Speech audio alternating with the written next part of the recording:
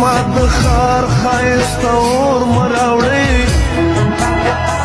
دلته پردي جنگونه نور مراوړي